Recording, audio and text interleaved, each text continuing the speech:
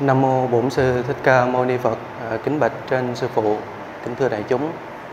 Con à, tỳ kheo Thích Tâm Hỷ. Cách đây khoảng 5 năm à, con được sự chỉ dạy của sư phụ và đại chúng tiến cử con à, sang Hàn Quốc để du học và phát triển đạo tràng tại à, xứ sở Kim Chi. Cho đến thời điểm bây giờ thì chúng con sang Hàn Quốc cũng đã 5 năm và trong thời gian chúng con du học cũng như là trong cái quá trình à, định cư tại Hàn Quốc thì à, chúng con cũng có học hỏi và trao dồi một số các cái kỹ năng để giúp đỡ cho kiều bào Việt Nam sinh sống tại Hàn Quốc. Sau đây thì chúng con cũng xin chia sẻ về những à, công tác Phật sự và hoạt động trong 5 năm vừa qua Trước đây thì sư phụ cũng và quý thầy cũng đã từng sang Hàn Quốc cũng đã biết Hàn Quốc là một đất nước của Thiên Chúa giáo. Khoảng 1 đến 2 km thì sẽ có một nhà thờ ở nơi đó. Đa phần là đạo tinh lành. Lượng Phật tử Việt Nam ở Hàn Quốc không có là bao nhiêu. Đa phần là các à, cô dâu kết hôn và các du học sinh cũng như các à, anh chị em lao động. Trong quá trình sinh sống tại Hàn Quốc thì à, ít nhiều gì bên à, tôn giáo bạn cũng có rất là nhiều các cái cái chương trình chính sách truyền đạo một cách rất là bài bản. À, từ đó tỷ lệ người Việt Nam của mình bị dụ dỗ và bị lôi kéo thậm chí là bỏ đạo rất là nhiều. Trong hai năm đầu thì chúng con à, vừa học và cũng như vừa làm đạo thì nhận thấy rằng à, Phật giáo cần phải có những cái bước tiến. Nếu không thì mình sẽ không thể nào mà truyền đạo tại Hàn Quốc. Bởi vì à, tôn giáo của bạn sử dụng rất là nhiều các cái kỹ năng, đa phần là những cái kỹ năng chuyên về phúc lợi xã hội. Và từ đó chúng con xin à, nhà trường chuyển qua bên chuyên ngành đó là phúc lợi xã hội Phật giáo. Từ nhân viên đó thì chúng con à, xin à, trình bày đôi lượt về những cái mà chúng con đã học hỏi và đã áp dụng áp dụng trong thời gian vừa qua tại Hàn Quốc và đã gặt hái được khá là nhiều các cái thành công hai năm đầu tiên thì chúng con hoạt động trên tính chất là Phật giáo truyền thống. Nghĩa là à, chúng con đem hết những cái gì mình học, mình hiểu và mình à, tại Việt Nam, mình áp dụng tại Hàn Quốc để mình truyền đạo thông qua những khóa tu và những cái chương trình à, trải nghiệm, vân vân. Nhưng mà xét cho cùng thì những cái chương trình đó trong hai năm qua đều thất bại bởi vì xã hội Hàn Quốc là một xã hội rất là tiến bộ về tinh thần vật chất cũng như phương tiện. Cho nên cái tầng lớp trẻ người ta uh, tiếp thu về Phật pháp rất là kém và cái thời gian họ đến chùa cũng rất là ít. Cho nên đó là những cái chương trình của mình nó bị dậm chân một chỗ nó không có tiến triển. Cho đến một hôm thì chúng con thử hòa nhập mình vào trong xã hội một ngày để xem xem những cái con người ngoài kia người ta nhìn nhận như thế nào về Phật giáo về ờ, bên Thiên Chúa giáo. Thì một hôm thì chúng con cũng có um, cải trang thành một cái người một cái người đời và chúng con trà trộn vào trong một cái ga tàu điện. Thì lúc đó thì à, có một nhóm bạn sinh viên thì bạn ấy hỏi anh ơi anh có đi nhà thờ không? À, con trả lời con nói là không. Thì anh mới bảo các bạn mới bảo rằng là ở nhà thờ ở quận Soku có một cha Việt Nam rất là giỏi. Anh muốn biết cần giúp đỡ bất cứ cái gì thì anh cứ đến đó. Thì vị cha nhà thờ đó sẽ giúp đỡ cho anh ví dụ như anh à, bị tai nạn thì cha đó sẽ liên kết với bệnh viện giúp đỡ cho anh. Anh thất nghiệp anh bị chủ lao động dịch tiền hoặc là trong quá trình mà anh lưu trú bất hợp pháp xảy ra bất cứ vấn đề gì thì phía nhà thờ sẽ hỗ trợ cho anh một cách tuyệt đối. Khi mà con nghe như vậy con cảm thấy giống như là uh, muối mà sáp vào tim. Cảm thấy mình rất là hổ thẹn tại sao ờ uh, mình qua đây 2 năm rồi mình vẫn đi học rồi mình vẫn truyền đạo nhưng mà tại sao mình không được như ông cha bên kia? Và ngay lập tức con thay con phải thay đổi kế hoạch của mình là con xây dựng hình ảnh của một vị sư là uh, một vị sư trẻ đi vào đời sống của nhân sinh. Bên cạnh đó vào thứ bảy chủ nhật thì con sẽ xây dựng hình ảnh của một vị sư mang cái vai trò là tín ngưỡng. Chủ nhật thì con sẽ mở ra những cái khóa tu thường lệ theo truyền thống Phật giáo Việt Nam. Từ thứ hai đến thứ sáu là con mở ra cái trung tâm. Ở bên đó con kết hợp những cái anh chị em Phật tử có năng lực chuyên môn để tạo ra một cái văn phòng tư vấn hỗ trợ cho người nước ngoài. À, thông qua đó người ta sẽ thấy rằng hình ảnh của một vị sư sẽ tỏ sáng hơn những ông cha nhà thờ. Và sau 2 năm đầu học bên chuyên ngành phúc lợi xã hội Phật giáo do cái tính chất về luật cư trú cho nên chúng con xin tạm bảo lưu để chuyển qua tư cách định cư vĩnh viễn tại Hàn Quốc. Cho nên hiện tại thì chúng con không có có tiếp tục đi học mà chờ đợi sau 2 năm à, sau khi chúng con nhập tịch Hàn Quốc xong thì chúng con sẽ tiếp tục việc học trở lại. Thì trong cái thời gian 5 năm qua ừ, việc mà mình hoàn pháp tại Hàn Quốc nó có những lúc thăng, những lúc trầm. Nhưng từ đó thì mình mới rút ra được nhiều cái kinh nghiệm là không phải cái gì mình học mình hiểu và mình đem ra nước ngoài mình áp dụng là cũng thành công. Mình phải có một cái sự biến đổi.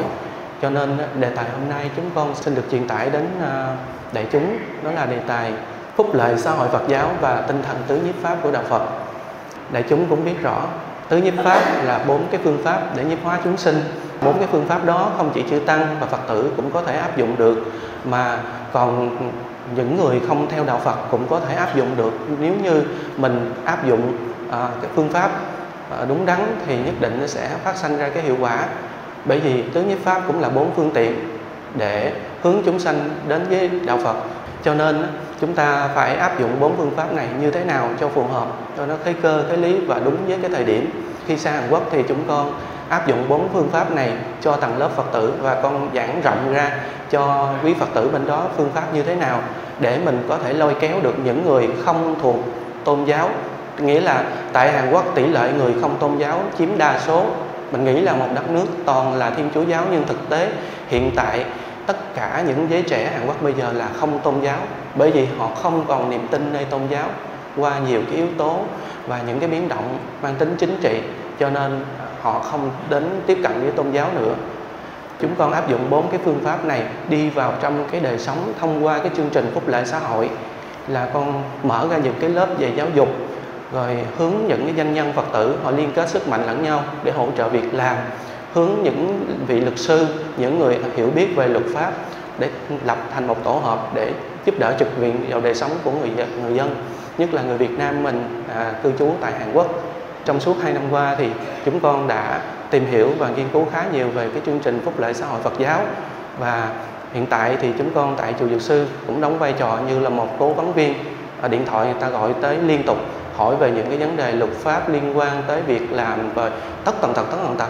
Hầu như là không có thời gian để yên luôn và từ đó thì người ta cũng đã biết đến đạo Phật một cái sáng suốt hơn cái nhìn sáng suốt hơn. Trong tương lai sắp tới chúng con còn phát triển rộng hơn cái chương trình phúc lợi như thế này mở rộng hơn nữa trong nước cũng như ngoài nước. Hiện tại chúng con cũng nhận được sự bảo trợ bởi chính quyền thành phố Incheon cho phép chúng con lập ra được pháp nhân đó là hợp tác xã đa văn hóa hy vọng.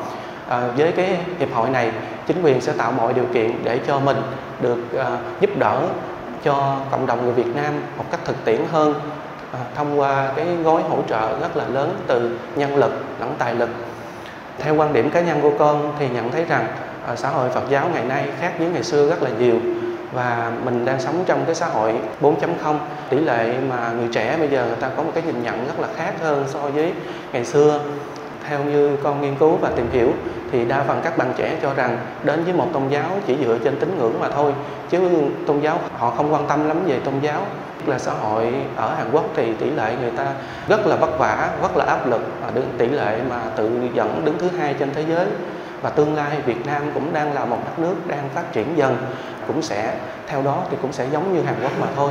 Thì khi mà xã hội ngày càng tiến tiến bộ cho nên mình phải có ra những, những cái chiến lược như thế nào cho phù hợp để đẩy mạnh cái cái chương trình phúc lợi xã hội diện rộng bằng những nhiều cái chương trình đa dạng. Ngoài cái việc phát quà từ thiện ra mình tạo ra một cái nguồn quỹ sống tức nghĩa là những cái nguồn quỹ có thể duy trì và phát triển để mở ra những cái lớp dạy về mặt ngôn ngữ giới thiệu việc làm tư vấn luật pháp vân vân.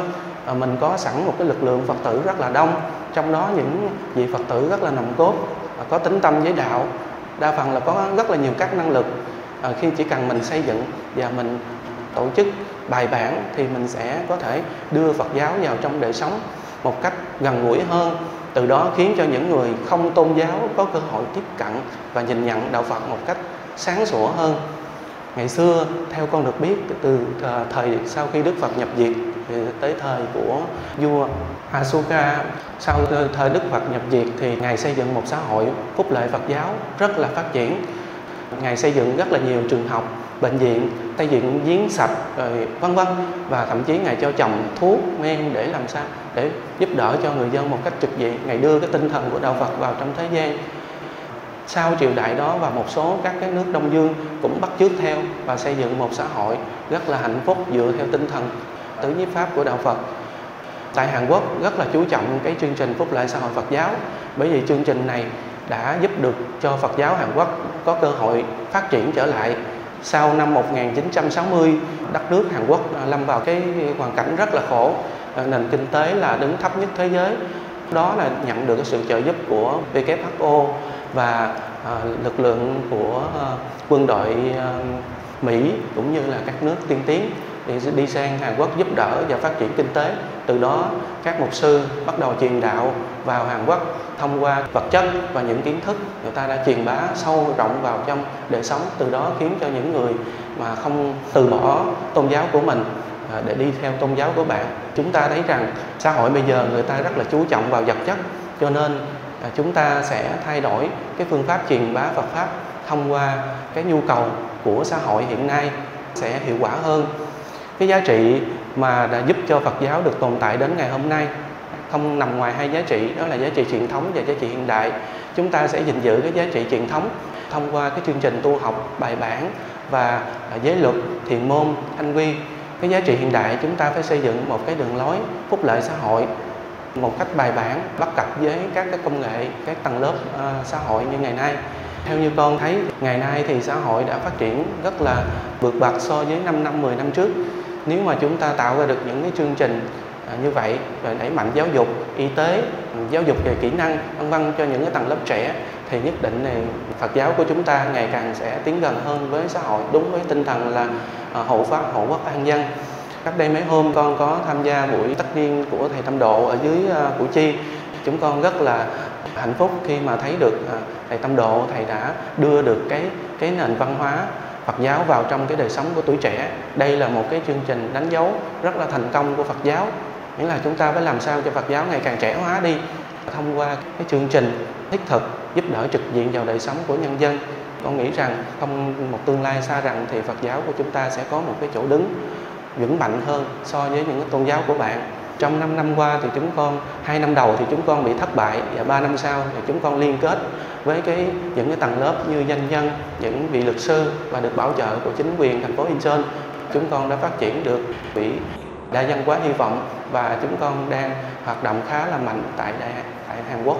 Và trong tương lai sắp tới thì chúng con cũng sẽ kết hợp với Phật giáo Việt Nam để đẩy mạnh phát triển song phương, giúp đỡ cho những người dân thiểu số tại số tỉnh ờ, miền núi phía Bắc và một số các nông thôn nghèo để tạo ra được cái cơ hội việc làm cho các em sinh viên không đủ điều kiện để du học hoặc là những người ờ, mong muốn được sang Hàn Quốc để đi làm hoặc học tập. Chúng con cũng tạo ra được những cái cơ hội việc làm như thế để cho họ biết rằng Phật giáo không bỏ rơi họ, tạo ra cho họ được một cái niềm tin, một cơ hội để họ phát triển. Thì sau này khi mà họ thành công thì họ sẽ, chắc chắn họ sẽ không bao giờ quên quên Phật giáo. Yeah và ngoài ra thì chúng tôi cũng có kết nối chương trình liên danh liên kết giữa các cái doanh nhân Phật giáo hai nước như là doanh nhân Phật giáo ờ, doanh nhân Phật tử Việt Nam và doanh nhân Phật tử Hàn Quốc phối hợp với nhau để tạo ra một sức mạnh để bảo hộ trì cho Phật pháp. Và hiện tại thì chúng con đã đã và đang tiến hành à, dự án và chương trình như vậy. Đây là cái nhìn, cái thấy của con ở một cái đất nước tư bản và chúng con đang hoạt động trên cái tinh thần À, văn hóa của đất nước à, bạn. Cho nên đó là có cái gì mà chúng con truyền tải nó không đúng thì cũng rất mong với thầy và đại chúng cũng hoan hỷ tất cả những việc mà chúng con làm, đều hướng về mục đích là xây dựng ngôi nhà Phật pháp sáng hơn và hướng Phật giáo đến một cái nhìn trẻ hơn và gần gũi hơn đối với nhân sinh. Bởi vì chính bản thân chúng con cũng đã từng bị những người tôn giáo bạn đã kích rất là nhiều và họ chỉ trích rất là nhiều về Phật pháp cho nên chúng con đã rút ra những cái bài học và kinh nghiệm. Từ đây trở về sau thì ở Hàn Quốc thì chúng con cũng sẽ phát triển như thế. Chỉ nếu như không làm như thế thì Phật giáo mãi mãi không phát triển tại nước ngoài. Chúng con nhiều lúc cũng rất là buồn, nhớ nhớ thầy, nhớ huynh đệ. Nhưng mà dịch bệnh xa cách thì chúng con cũng không có thể về được. Lần này chúng con về, chúng con đi liền. Bởi vì chuyến bay về Việt Nam không có. Chúng con phải vượt biên đi sang Campuchia và đi về đây à, hai năm trôi qua rồi thì chúng con cũng rất là nhớ chùa. Và lần này chúng con à, về trước và thăm sư phụ thăm huynh đệ và đại chúng. Và sau thì chúng con cũng xin truyền tải về à, những cái việc mà chúng con đã làm trong thời gian vừa qua tại Hàn Quốc. Và từ đó chúng ta sẽ có một cái nhìn hiểu đúng hơn về à, xã hội Hàn Quốc cũng như thấy được cái bối cảnh Phật giáo Việt Nam đang rơi vào à, bế tắc tại hải ngoại và từ đó chúng con không muốn mình phải là một ông sư. Tối ngày chỉ biết gõ mỏ tụng kinh, mà mình phải xây dựng một hình ảnh của ông sư, hiểu biết đầy đủ về à, những cái kỹ năng sống trong trong xã hội, để rồi mình sẽ gần kề với với những người, chúng sanh ngoài kia hơn. Thì người đó, người ta sẽ thấy rằng đạo Phật sẽ sáng sủa hơn. Thì theo quan điểm của con, tứ nhiếp pháp chính là như vậy. Tứ nhiếp pháp là cái mà không chỉ chư tăng, Phật tử, mà ngay cả những người mến mộ đạo Phật, muốn mang một cái tâm đóng góp cho đạo Phật tìm mọi phương pháp, mọi phương tiện phù hợp để mình đưa cái hình ảnh của Phật giáo của mình ngày càng gần kề với nhân sinh hơn. Thay vì người ta nhìn quan điểm Phật giáo như là một tôn giáo yếm thế, đó là cái mà con nhìn nhận và con đã lắng nghe từ phía à, những tầng lớp xã hội đã góp ý trong thời gian vừa qua. Từ đó chúng con đã rút ra một cái bài học sâu sắc. Nếu có cái gì không đúng thì con cũng kính mong trên sư phụ và chư tăng dạy bảo thực tế thì chúng con ở hải ngoại, cái môi trường sinh hoạt nó khác xa hoàn toàn so với ở Việt Nam. Nên những gì mà chúng con truyền tải không đúng, không hợp với tư tưởng của quý thầy cũng như quý phật tử thì cũng rất mong quý vị cũng từ bi hoan hỷ tha thứ cho. Nam mô a di đà phật.